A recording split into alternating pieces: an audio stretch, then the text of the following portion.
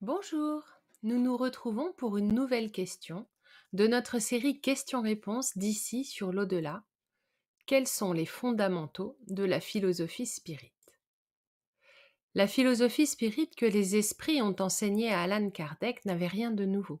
Comme il l'a dit lui-même, on la trouve chez la plupart des philosophes de l'Inde, de l'Égypte, de la Grèce et dans l'enseignement du Christ. Elle vient confirmer par des témoignages démontrer par des faits des vérités méconnues ou mal comprises. Quels sont donc ces fondamentaux?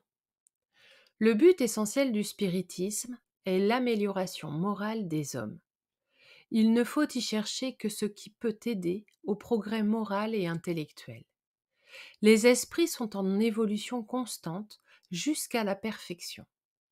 Lors de leurs multiples existences corporelles, ils peuvent stationner mais ils ne régressent jamais. La rapidité de leur progrès intellectuel et moral dépend des efforts qu'ils font pour arriver à la perfection. Naître, mourir, renaître encore et progresser sans cesse, telle est la loi.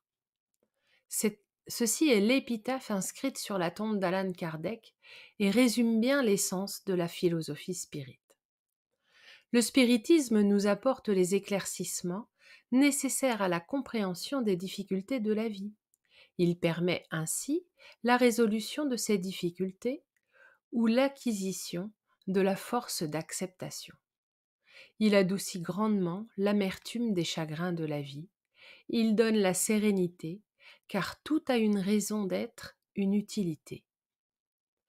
Il explique clairement le fonctionnement du libre arbitre de chacun et de la responsabilité de nos actes pensées et comportements envers nous-mêmes et envers les autres. Il nous donne les outils pour comprendre chaque situation et y trouver une solution. Il nous permet d'être certains que l'âme existe, qu'elle survit au corps. Il est une puissante consolation lors de la perte d'êtres aimés. De plus, il démontre que les rapports entre les esprits et les hommes sont constants et ont toujours existé, les bons esprits nous inspirent le bien, nous soutiennent dans les épreuves de la vie en nous aidant à les supporter avec courage et résignation. Les esprits imparfaits nous induisent en erreur, mais avec la compréhension de ces éléments, nous pouvons nous en protéger et même les aider dans leur propre évolution.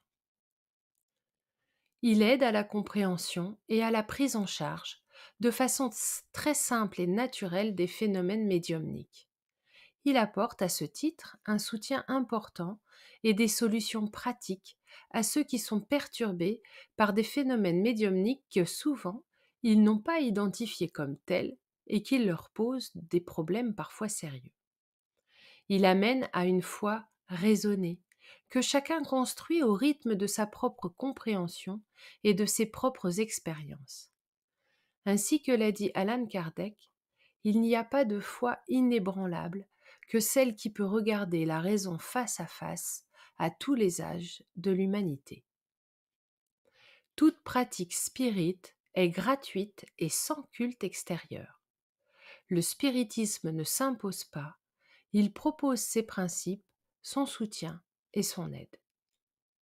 Et rappelons-nous ce que les esprits nous disent. Aimez-vous les uns les autres est le premier enseignement, instruisez-vous est le second.